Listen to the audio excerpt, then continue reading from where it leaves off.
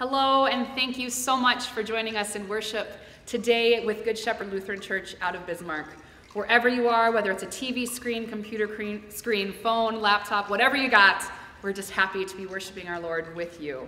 I am Deacon Ashley Greenwood. I serve as the Deacon of Children, Youth, and Family Ministries here at Good Shepherd, and our pastor, Julie Anderson, will be sharing the sermon with you today. So get cozy, get ready, and let us worship together.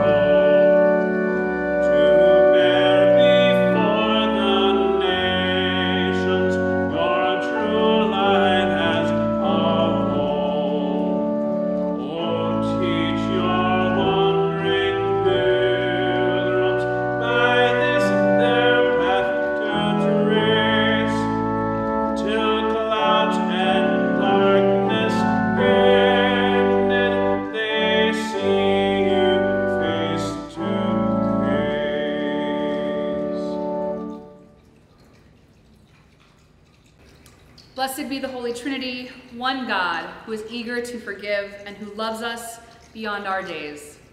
Amen. Dear friends, together let us acknowledge our failure to love this world as Jesus does. God of mercy and forgiveness, we confess that sin still has a hold on us. We have harmed your good creation.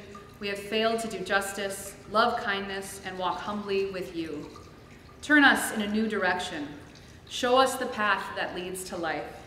Be our refuge and strength on the journey through Jesus Christ, our Redeemer and friend.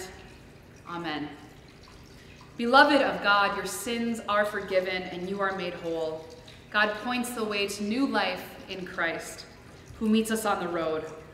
Journey now in God's abiding love through the power of the Holy Spirit. Amen. In peace let us pray to the Lord. Lord, have mercy. For the peace from above and for our salvation, let us pray to the Lord. Lord, have mercy. For the peace of the whole world, for the well-being of the Church of God, and for the unity of all, let us pray to the Lord. Lord, have mercy. For this holy house and for all who offer here their worship and praise, let us pray to the Lord. Lord, have mercy. Help, save, comfort, and defend us, gracious Lord.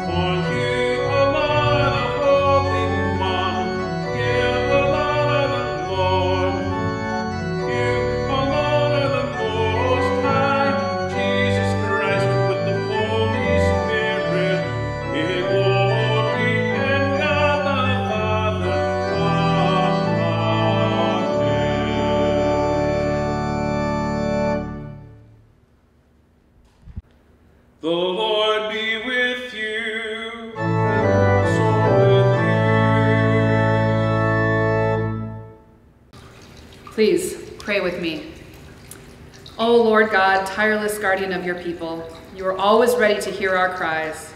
Teach us to rely day and night on your care. Inspire us to seek your enduring justice for all of the suffering world. Through Jesus Christ, our Savior and Lord. Amen.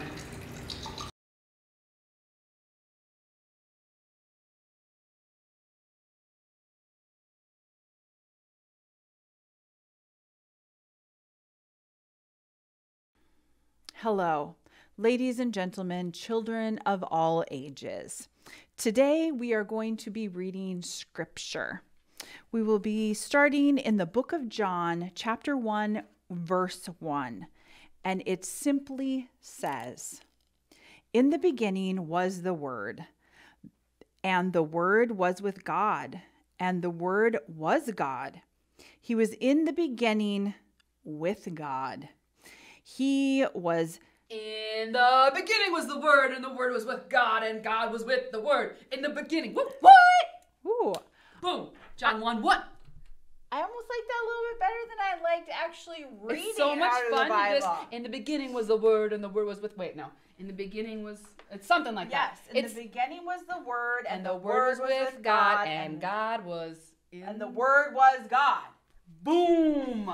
It's beautiful scripture, and if you can really get the words right, which are a little kooky. Yes. Boom, boom, boom. It flows so nice. You can do anything with Scripture. It's You can not do just so reading it out of the Bible. Do you know how can many songs- So many things with how many songs they've made with scripture. Do you know Yes. that there's cartoons that they Oh, put together yeah. telling stories from the Bible? You can find life lessons out of the Oh. Bible through Scripture. Oh, yes. You can find like um r- like rules like how God wants us to treat other people, how to treat other people mhm. through the Bible with Scripture, Scripture. is just fantastic. It teaches us so much Yeah. of, of God.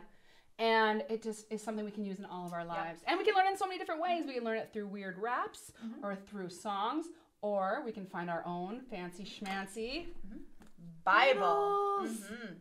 Um, we are super excited Super. because um, our third graders this week, so Wednesday and Sunday, will be receiving their Bibles, and we're so happy that we get to put Bibles in their hands, and they get to go through the Bible and find scripture and find verses that they might like and work through their Bible. And they get to make it their own. yes, So sometimes when I was growing up, I used my parents' Bible for stuff, my Yeah. other brothers or sisters. And then when I got my own Bible, I got to write in there and leave notes in there and put Mm-hmm. Stickers in there, which Yes. guess what? There are stickers in the back of this Bible that you will all be receiving, you third cues, graders. And there's colors. Oh, and there's questions, and there's so many fun things, and it is easy to understand. it's such a great Mm-hmm. Bible. This is the Spark NRSV Bible given to our third graders. Yep. And on top of that, once you receive your Bible and we you come back to church school, you get Bible tabs so that it's a little bit easier when we start working through our Bible and you get colored pencils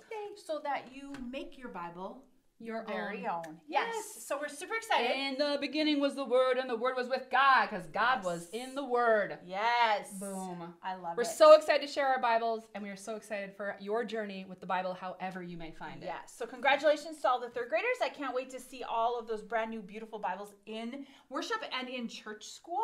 Yes. Um, so because we're celebrating, can you pray us? Let's pray. Today? Repeat after me. Mhm. Yes. Dear God, Dear God, thank you thank you for your word, for your word, for the Bible, for the Bible, and for everything. and for everything. And all God's children said, Amen. Amen. Thank you for being here. Congratulations, third graders. Have a fabulous week. Yay. Bye. The first reading is from Jeremiah, chapter 31, starting with the 27th verse.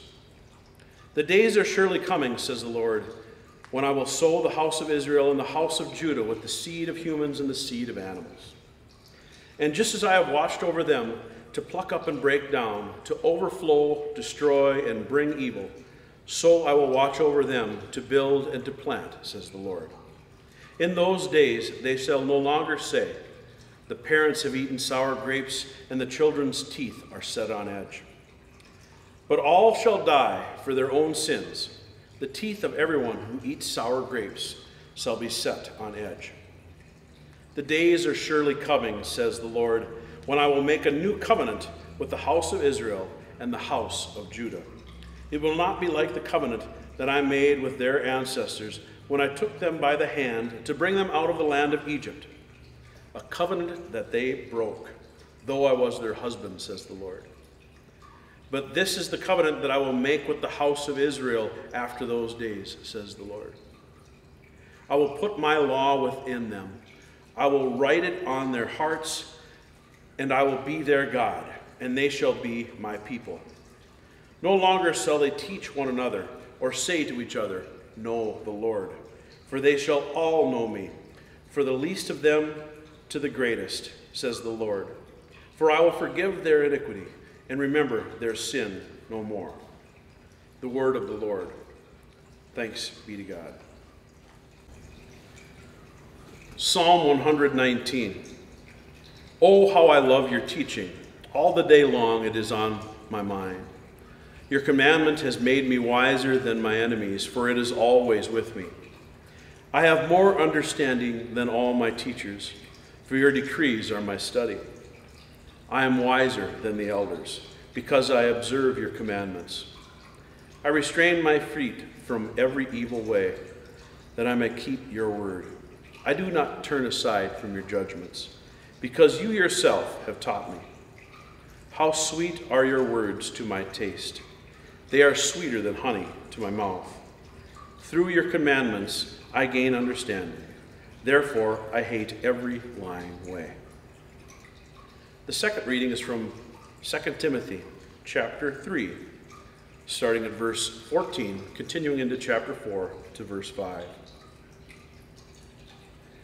But as for you, continue in what you have learned and firmly believe, knowing from whom you learned it, and how, from childhood, you have known the sacred writings that are able to instruct you for salvation through faith in Christ Jesus. All scripture is inspired by God and is useful for teaching, for reproof, for correction, and for training in righteousness, so that everyone who belongs to God may be proficient, equipped in every good work. In the presence of God and of Christ Jesus, who is to judge the living and the dead, and in view of his appearing and his kingdom, I solemnly urge you proclaim this message. Be persistent, whether the time is favorable or unfavorable. Convince, rebuke, and encourage with the utmost patience in teaching.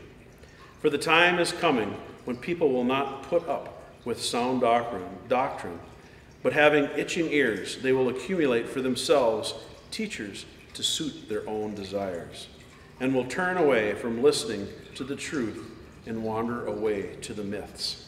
As for you, always be sober, endure suffering, do the work of an evangelist, carry out your ministry fully.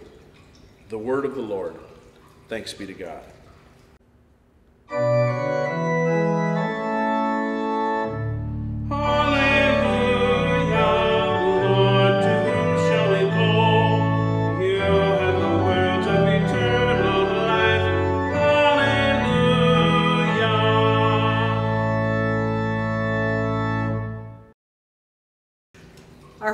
Gospel this week comes to us from the Gospel of Luke, the 18th chapter. Then Jesus told them a parable about their need to pray always and not to lose heart. He said, In a certain city there was a judge who neither feared God nor had respect for people. In that city there was a widow who kept coming to him, saying, Grant me justice against my opponent. For a while he refused, but later he said to himself, Though I have no fear of God and no respect for anyone, yet because this widow keeps bothering me, I will grant her justice, so that she may not wear me out by continually coming. And the Lord said, Listen to what the unjust judge says. And will not God grant justice to his chosen ones who cry to him day and night?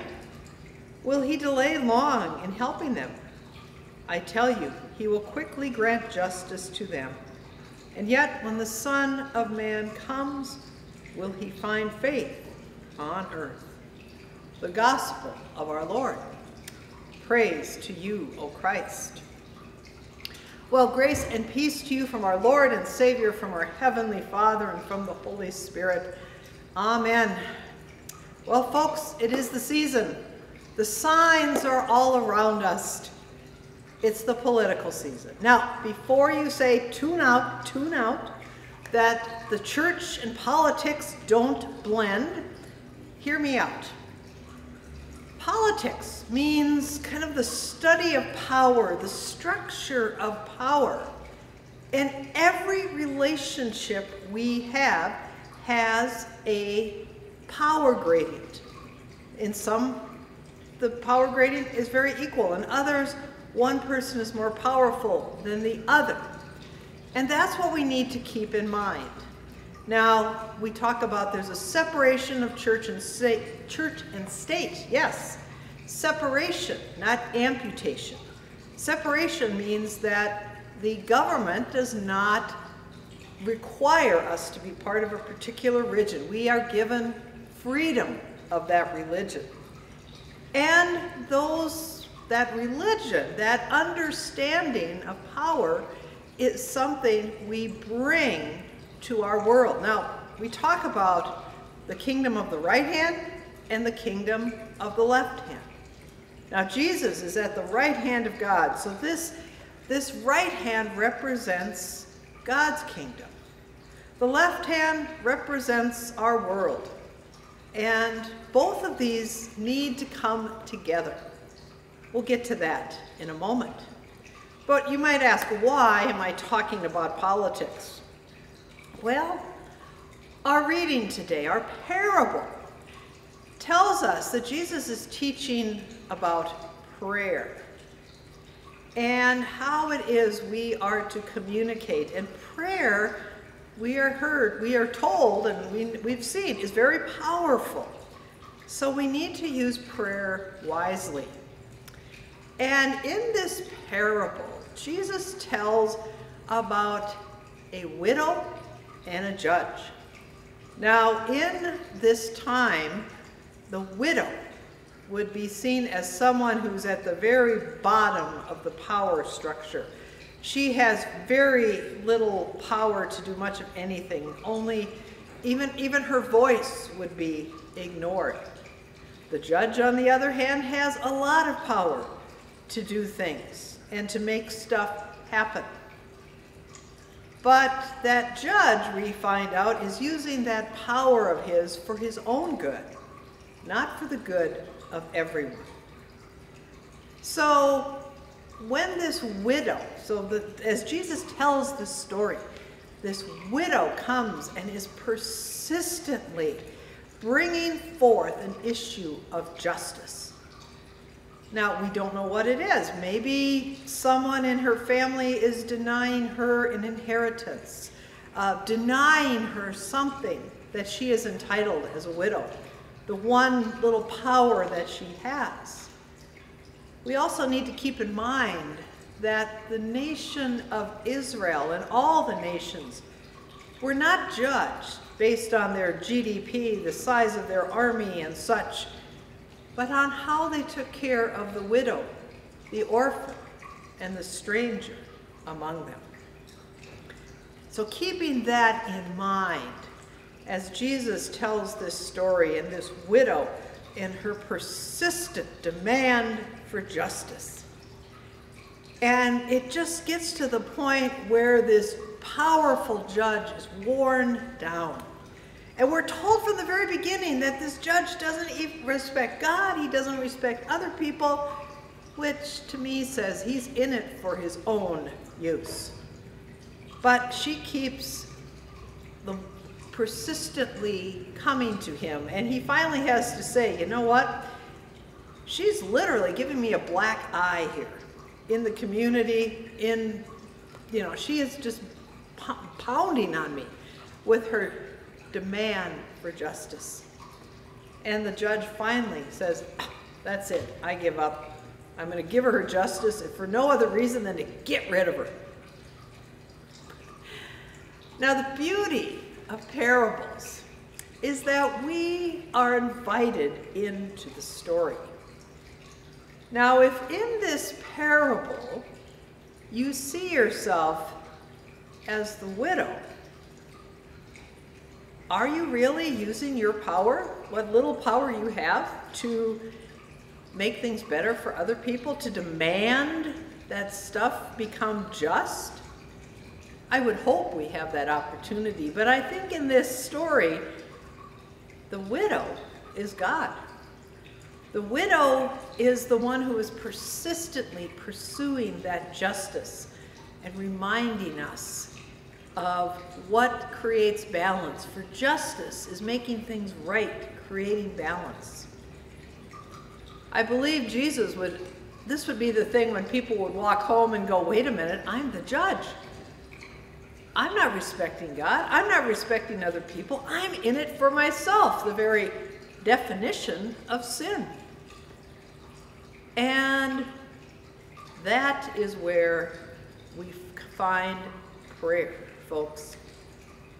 If we think about that, if that widow is the right hand and the judge is the left hand, when they finally come together, when they finally see and have heard each other, especially when the widow has been heard, does justice happen?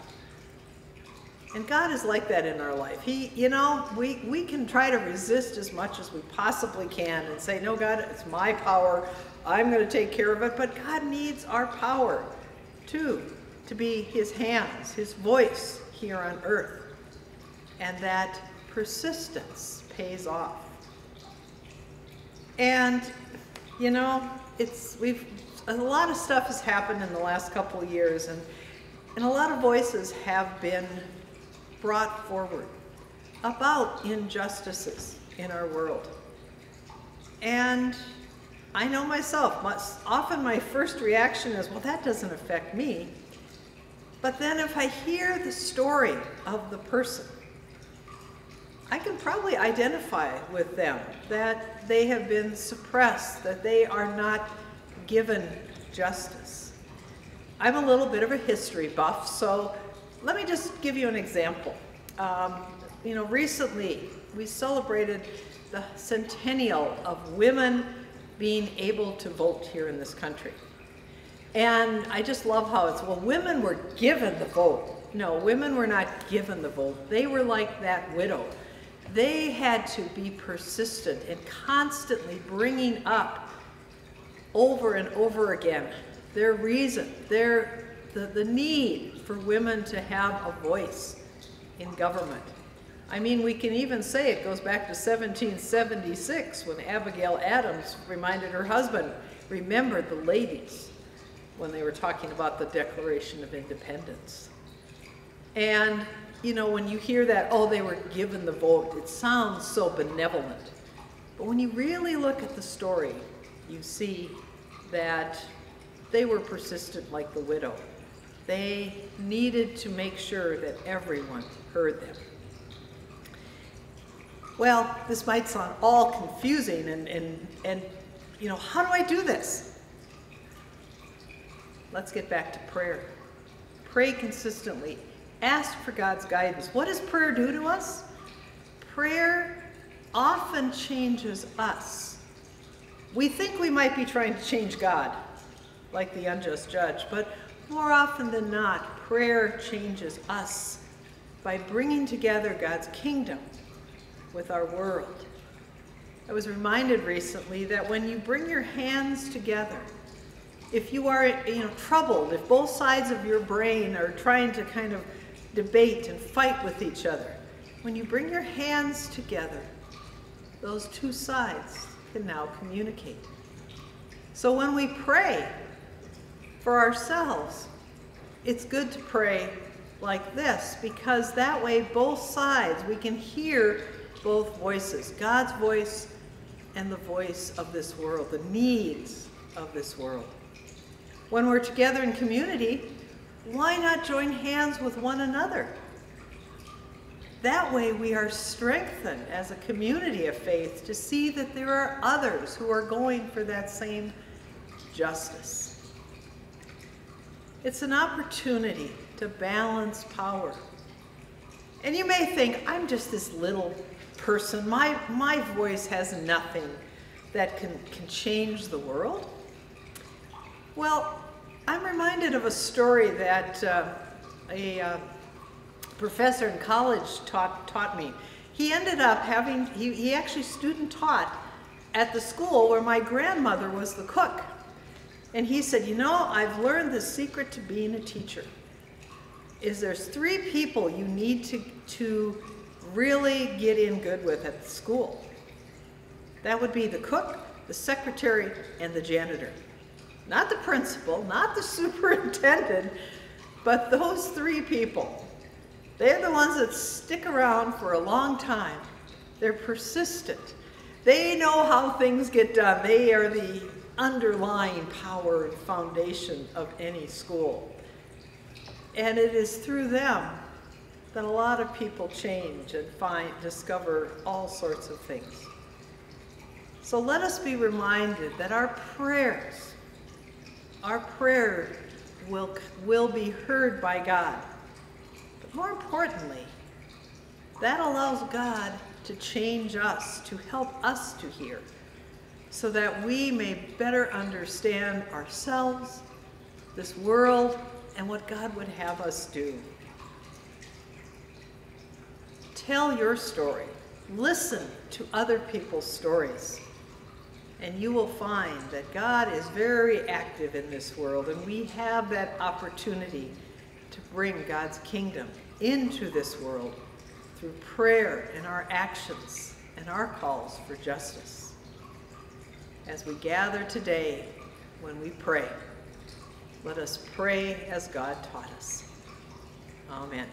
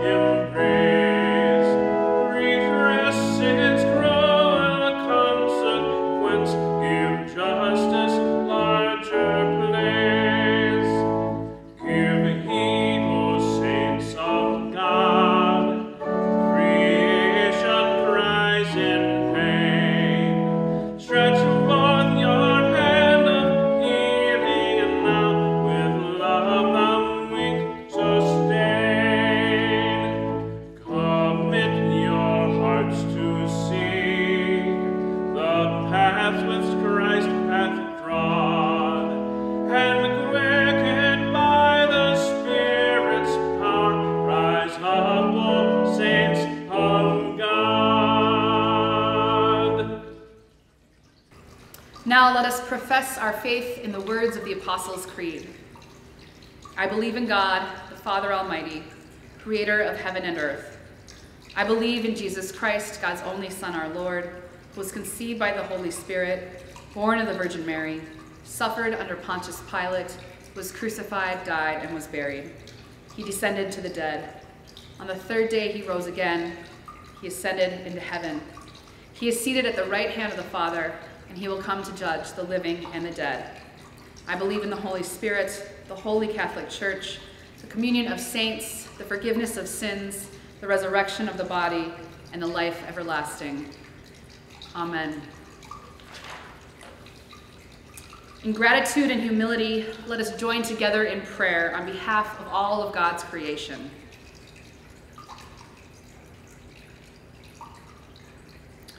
For all the baptized, that they become skilled in compassion and grace and equipped to share the good news with all. Grant your followers persistence in proclamation and prayer. Hear us, O God, your mercy is great. For air and sky, clouds and sun, that they provide rain to parched land and relief to flooded ground. Renew and restore our polluted atmosphere and empower us to be worthy stewards of creation. Hear us, O God. Your mercy is great. For judges, juries, and all who work in the judicial system, that they desire wisdom, seek truth, rule with fairness, and have the courage to do what is right eliminate oppression and injustice in our criminal just, justice system. Hear us, O God, your mercy is great. For all who are lonely, especially those who have newly arrived in an unfamiliar city or country, political prisoners without resource to justice, hospital patients without visitors, and any who are ill or grief stricken. Hear us, O God, your mercy is great. For those in our congregation and community engaged in advocacy work, that with the persistence of the widow, they lift their voices in seeking justice on behalf of others. Hear us, O God, your mercy is great. For those who have taught us faith and now rest in your heavenly peace, that we remember and give thanks for these saints who shared the gospel through word and deed.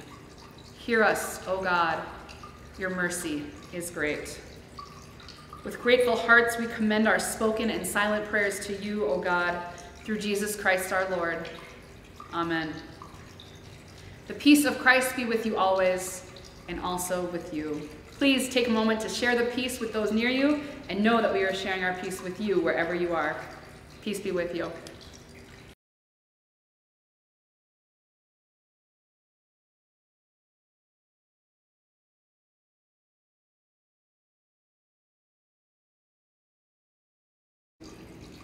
As always, we have many, many activities and things happening here at Good Shepherd.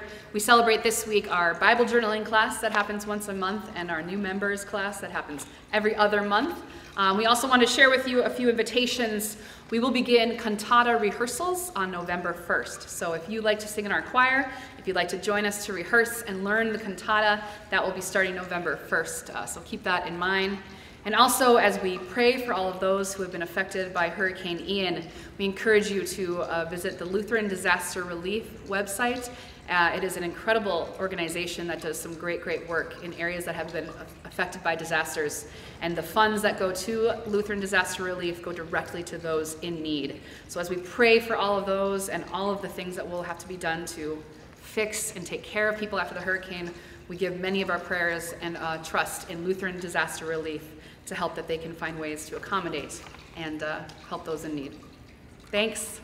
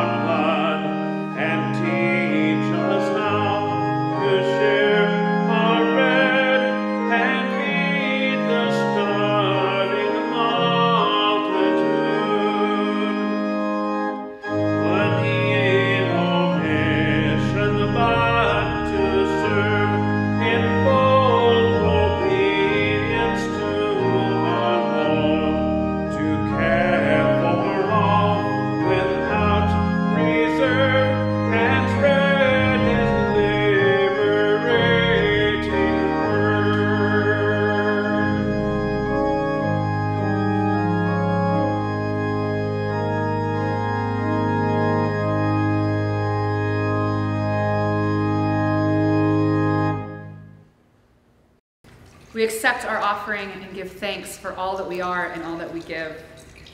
Gracious God, in your great love, you richly provide for our needs. Make of these gifts a banquet of blessing and make us ready to share with all in need. Through Jesus Christ, who sets a table for all. Amen.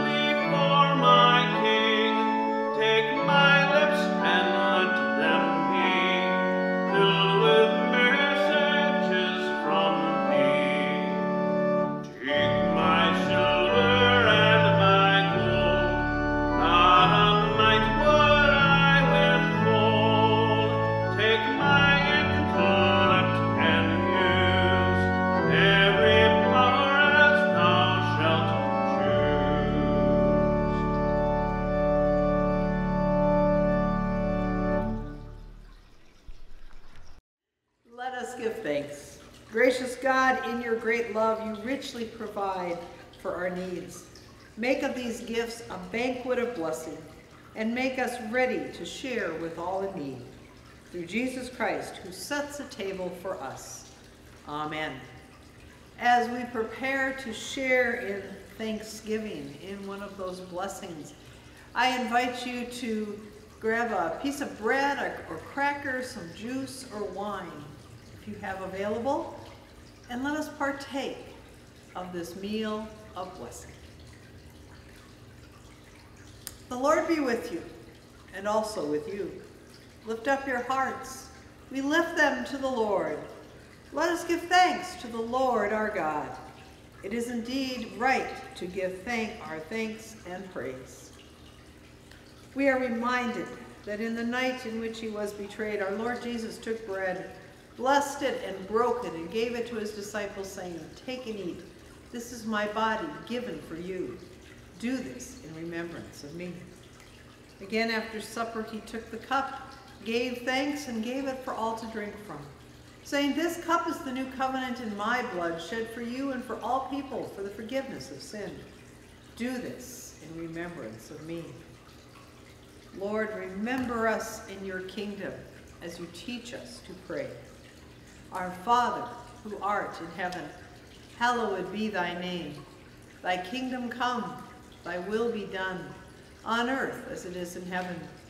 Give us this day our daily bread, and forgive us our trespasses, as we forgive those who trespass against us. And lead us not into temptation, but deliver us from evil. For thine is the kingdom, and the power, and the glory, forever and ever. Amen. The banquet is set let us partake. I invite you to take your bread, take and eat the body of Christ, given for you. As you take your wine or juice, take and drink the blood of Christ shed for you.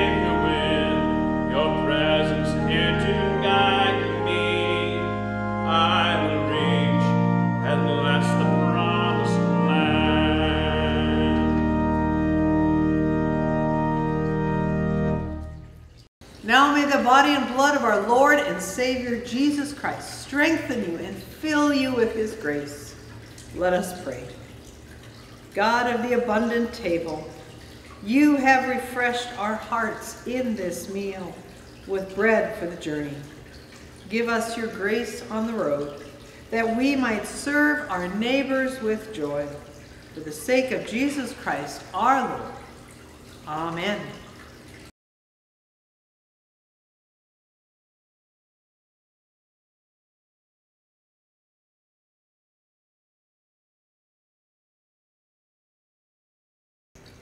God, who gives life to all things and frees us from despair, bless you with truth and peace. And may the Holy Trinity, one God, guide you always in faith, hope, and love. Amen. Go in peace with Christ beside you. Thanks be to God.